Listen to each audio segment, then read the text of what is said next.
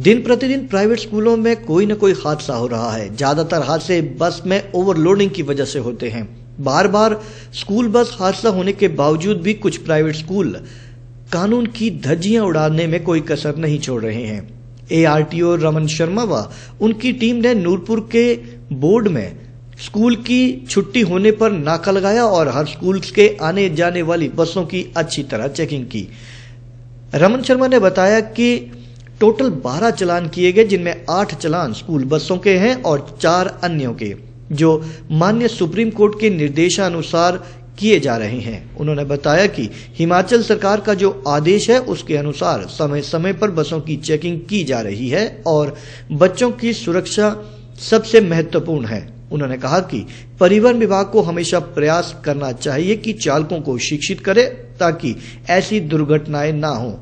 जैसा कि पीछे नूरपुर में स्कूल बस हादसा हुआ था। उसके बाद सरकार इस मामले में गंभीर हुई है और विभाग द्वारा प्रयास रहता है कि समय समय पर बसों की चेकिंग हो, स्पीड गवर्निंग लगे हो, ओवरलोडिंग ना हो, बस में हेल्पर हो, साइड में ग्रिल लगी हो, इस तरह की समय समय पर निरीक्षण किया जा रहा है।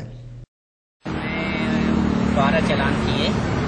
इसमें आठ स्कूल बसों के हैं और चार अदर्स तो विभाग जो अब समय समय पर बसों की वो चेकिंग करता रहता है। जो माननीय सुप्रीम कोर्ट की गाइडलाइन और हिमाचल सरकार के जो आदेश हैं, उस अनुसार जो है वो बच्चों की सेफ्टी हमारे लिए बहुत महत्वपूर्ण है। तो परिवहन विभाग का हमेशा प्रयास रहता है कि चालकों को जो एजुकेट किया जाए, ताकि ये कोई दुर्घटना ना हो।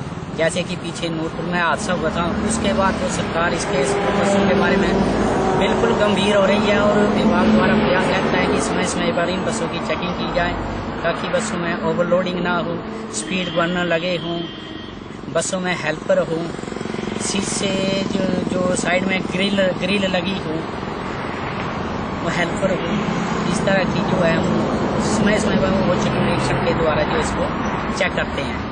अभी जो हमने बस चेक की उसमें जो है, एक बस जो है वो ओवरलोड पाई गई है। तो उसके ऊपर जो अभी मोटर हैं अधिनियम के तहत जो कार्रवाई की।